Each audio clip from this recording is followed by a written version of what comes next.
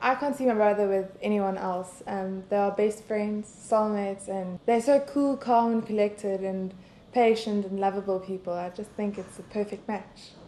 Getting married to Ezelle is such an amazing, uh, amazing day, and she's she's so beautiful. I must say, she she's looking beautiful and awesome. My heart skips a beat every time I look at her. So it's a great night. It's amazing.